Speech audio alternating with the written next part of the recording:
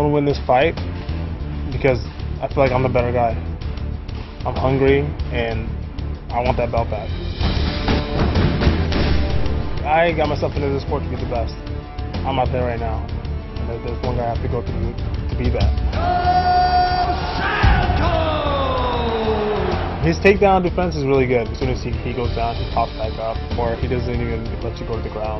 It's so hard to take this kid down. And when you take him down, he springs back up to his feet like a cat. If he does get up, then hey, we're gonna fight on our feet. He really doesn't have any weakness out there. Junior Dos Santos is a scary man. That was a real statement by Cain Velasquez. There's something about en- ending the fight with punches. I mean, to me, it's it's it's the, the best feeling in the world. The whole reason I'm here fighting now is is to be the best, to be the champ.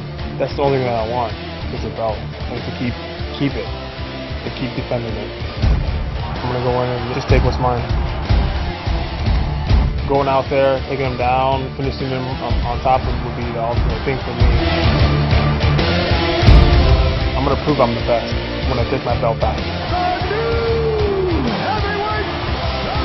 There's nobody better than me, especially Junior Dos Santos.